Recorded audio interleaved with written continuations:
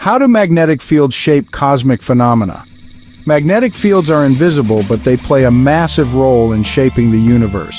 From small-scale objects like planets to the largest structures like galaxies, magnetic forces are everywhere, silently influencing cosmic events. On stars like the Sun, magnetic fields cause sunspots, solar flares, and coronal mass ejections, massive eruptions of plasma that can even impact Earth's technology. Around planets like Earth, magnetic fields create magnetospheres that protect us from harmful cosmic radiation.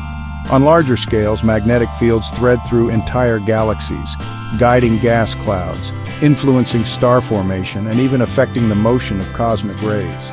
In the regions near black holes and neutron stars, magnetic fields become so intense that they twist matter and light, creating powerful jets that shoot across thousands of light years. Scientists are still unlocking the mysteries of cosmic magnetism using radio telescopes, spacecraft, and computer models to understand how these unseen forces help shape the visible universe.